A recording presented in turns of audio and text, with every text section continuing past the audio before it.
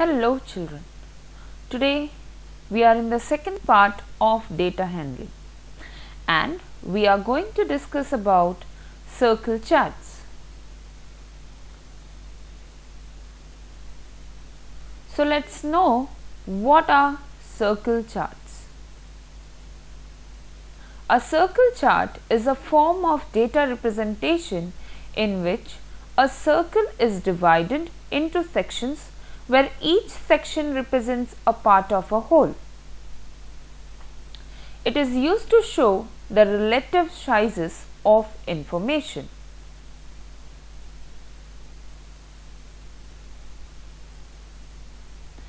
In the figure, I have represented circular charts in different forms. In the first one, as you can see, the circular chart is divided into two parts and the colored part represents half of the circular chart.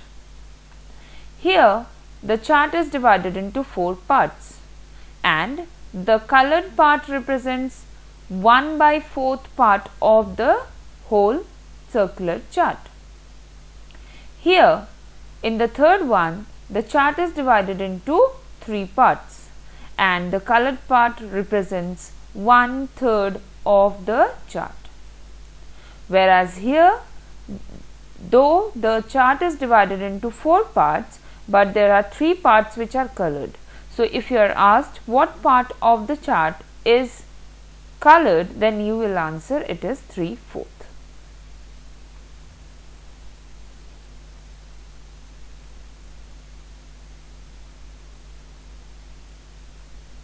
Let us see an example.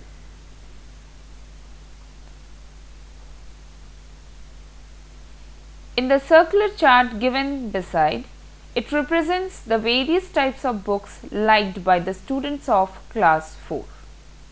So, the circular chart is divided into 4 parts 1, 2, 3 and 4. So, if I ask you what part of story books how many students of the class like storybooks, then your answer will be half of the class. What part of the class likes comics books? Then it is one fourth. And the poem and puzzle books are liked equally by the part of the class that is one eighth.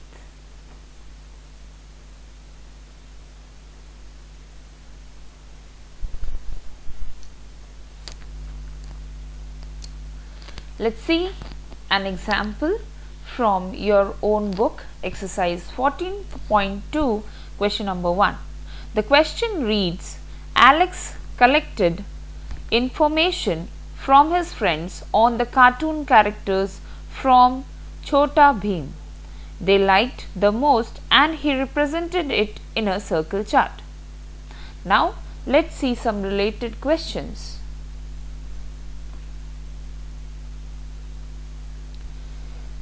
Is there any character that is liked more than the others? As you can see in this chart, the circle is divided equally into three parts. So, the answer will be no. Question number B. Each character was liked by what fraction of his friends? So, because the chart is divided into three parts and if we talk about each of the character then each character represents a fraction 1 by 3. If Alex has 45 friends then how many of them liked each character? So, because each character is liked by a fraction of 1 by 3, so 1 by 3 into 45 is equals to 15 friend.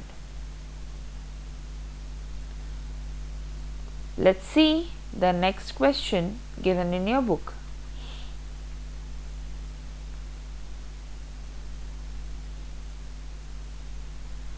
There are 600 students in a school. The school organizes different club activities on Saturdays. Even you people have your Friday activities, right children? So, the circle chart here shows the popularity of each activity. So there are three activities in the school that is music, sports and robotics. So if as you can see sports is the most liked activity and it is liked by half of the students.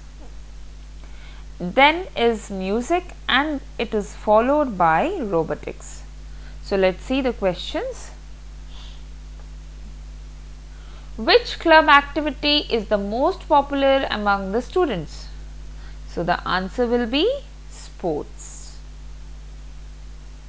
How many students have chosen sports? So in the question the number of students is 600 and sports is half of the students. So it is 1 by 2 into 600 that is 300 students like sports. If 1 by 8 have chosen robotics, how many students are there in the robotics club? So it is 1 by 8 into 600 that is 75 students.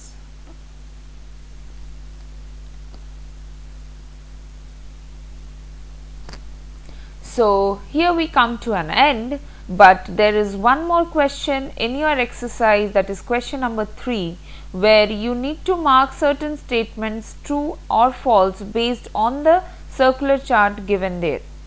So I hope you all can do it with the knowledge that you gained from this exercise or this video. So all the best children from the next class we begin your revisions. Take care. Bye-bye.